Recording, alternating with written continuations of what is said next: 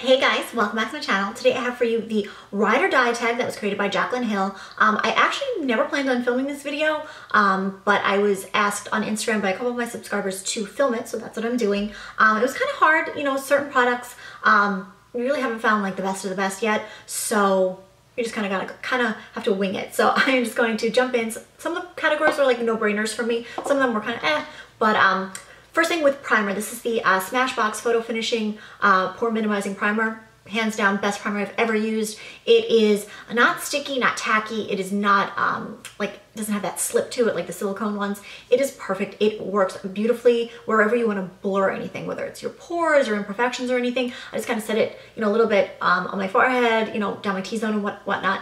Um, it's, it's amazing. It holds your makeup on all day long as well, and it kind of creates a beautiful surface where your foundation will glide on and just kind of sit over those um, pores. It will really kind of create that barrier. So I love it.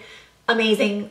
Use it constantly. So that is my, hands down, my favorite primer. Um, foundation was a little bit tricky. I wasn't really sure. Um, you know, I'm still trying different ones out. I know I have a couple that I really like. So I went with the Dior Skin um, Nude Air Serum Foundation. This one is really good. I can wear it, you know, in the dead of summer. It really stays on your face. It's very liquidy, very runny, but I find that it really soaks into your skin and kind of gives you like more of that airbrushed look. Um, and this with that primer is just perfection. So definitely the um, Nude Air Serum Foundation, one of my favorites and one of my go-tos. Um, Concealer, this, this one was actually a no-brainer for me. Um, I haven't talked about it in a really long time, but is the MAC Pro Longwear Concealer.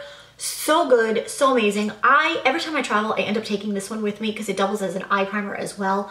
Um, it is just so, um, it's very, you know, thick and, but it really stays put. That's why it's Pro Longwear. Um, and it really covers anything up under your eyes. If you have, you know, dark circles, this is what you want to really cover it up. Um, I find my best application with this is definitely with a beauty blender to kind of shear it out because it is so thick.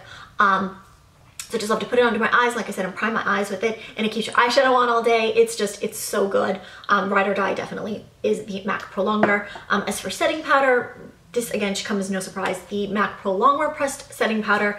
I haven't even hit pan on this yet and I use it constantly. Um, you just need a little bit, literally dust it over your face, hold your foundation in place all day. Doesn't break up, doesn't really have any oil come through amazing, love it. Then moving on to brows really fast. Um, the Anastasia Brow Definer, ride or die for me. I cannot live without this. I love this so much better than Brow Wiz, especially if you have, you know, if you actually have like brows that have hair that you kind of need to fill in. Um, that's what I love this for. Um, the Brow Wiz, you know, is really if you have more thinner brows and you really need to, you know, kind of perfect them. For me, the brow definer is just so easy. I, the Brow Wiz just too small for me. I really never liked it. Um, this is amazing. Just really define your brows where you need to and fill in any sparse areas. Per perfection.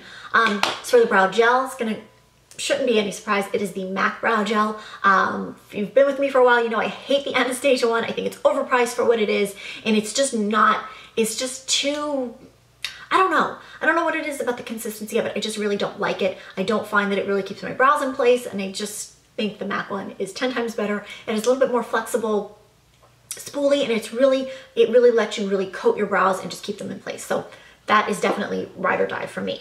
Um, as for eyeliner, um, I'm going to go with the MAC Feline Kohl Power um, eyeliner because for me, it is all about keeping it in my waterline and my tight line. And this is it. I've used this for years. This is a little baby guy. They do come in like full size, um, but I just use it constantly and sharpen it. And it's perfection. It really stays and it doesn't irritate my eyes. I, have, I wear contacts, I have really sensitive eyes. There are a lot of eyeliners that I can't wear, but this is number one. Then as for bronzer, oh wait, I forgot. Hang on, let me stick with the eyes. Um, mascara, the Chanel um, La Volume de Chanel mascara, hands down, go to, love this. Um, when you first get it, I will warn you, you will not like it because I never like it when I first get a new bottle because it is very runny and watery and I find that it really doesn't give your lashes the separation that you want. They kind of clump together. So my trick is when I get a new bottle, when I get home, I just kind of open it like this and I just kind of leave it on my vanity like this and kind of leave it for a day and then close it up and it's perfect the next day and going forward. It just needs to dry out a little bit because it is very wet. Or if you apply it with a primer, eye primer as well, that works beautifully. Um, so that is my go-to mascara, will never change. Um, now on to bronzer. the um, Tom Ford Terra. you knew this was coming. Well, like I said, when some um, categories were no-brainers, this is definitely it. Absolutely love this bronzer. It is just beautiful. It's matte. It doesn't have any shimmer or sheen to it. It goes on your skin beautifully. It really works with any skin tone because it's not too orange, it's not too brown. It's just, it's beautiful and the packaging is gorgeous. This is the little size. I don't even know why you would need the big size because it's just so, you know, gigantic. I've had this and I've been using this and I don't see I'm getting pan anytime soon. So I love that. As for highlight, um, when I really started looking through my, my highlighter collection, I realized that the one that I truly go to the most, that's ride or die for me, is the Hourglass Luminous Light. Um, this is the ambient lighting powder. This I have had probably since it came out. It is gorgeous. I mean, look at that. It is beautiful. It goes with any blush, any eye look. It gives you the prettiest highlights. Actually, what I'm wearing, it allows me to highlight any, you know, points of my face that I want. And it doesn't look too glittery or too glitter bomb. It is just beautiful. It is so, when you blend it out, it's just, it leaves like the most beautiful natural sheen, which is really what you want. I mean, you don't need to be popping, you know, in the day. So that is beautiful. As for blush, this was hard too, because I was like, well, what's my ride or die blush? You know, what am I going to go to? And I knew, first of all, I knew it was probably gonna be a MAC blush. Even though I have blushes from a lot of different brands, a lot of high-end brands, um, I still will always gravitate towards MAC. Probably because that was like the first brand I really got into. I freelanced for them for a couple years. So I have a, like a lot of MAC stuff and I'm just, I'm always gonna be partial to them because you know, it's what I started using first. So, um, but I decided on the blush um, in Mocha, which again is the most beautiful um, pinky nude shade. It's so flattering on pretty much any skin tone. Um, I just, I love it so, so much. And it is right there. It, I can put it on with anything and it's beautiful. So that is that. Um, the next one, the eyeshadow palette. I'm cheating on this completely. This is, again, my um, MAC Z palette that I created. It is still palette, so it counts. Um, this, this, is what I did a video on a while ago. Um, this went over all the colors. This is definitely my go-to. Um, it always sits out on my vanity whenever I'm not sure what I want to do. I just pick this up, throw on a lid color, throw on a crease color, and I know it's going to work. It's going to be beautiful. That is that. It's not really cheating, so. okay, the lips last, last but not least. Okay, first things first, the Ride or Die lip liner. This, even though I haven't had this for a while, it's definitely my absolute go-to. This is the Too Faced Perfect Lips Perfect Nude. If you obviously watch my channel, you know that I love pinky nudes. It's right there. This is a pinky nude lip lover's dream. It is just gorgeous. It goes with any any pinky nude. Even if like now I'm wearing like a darker nude, it works with this. I have this on underneath. It's just perfect. Um, any, I wear this all the time, like almost every day, whenever I'm wearing a color like that. It just, it works, it goes with it. So that hands down ride or die. Lipstick, again, we're going on the MAC train. This is MAC Blankety.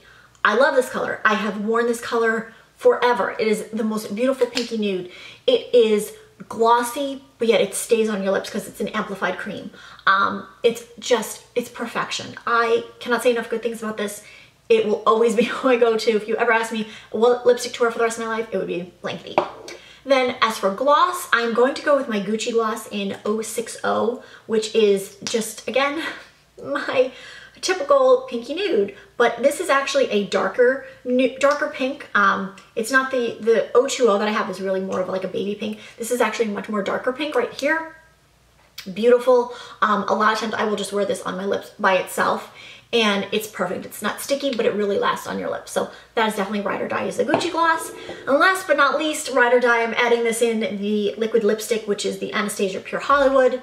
Definitely can't say enough good things about this. Um, been kind of like loving liquid lipsticks lately.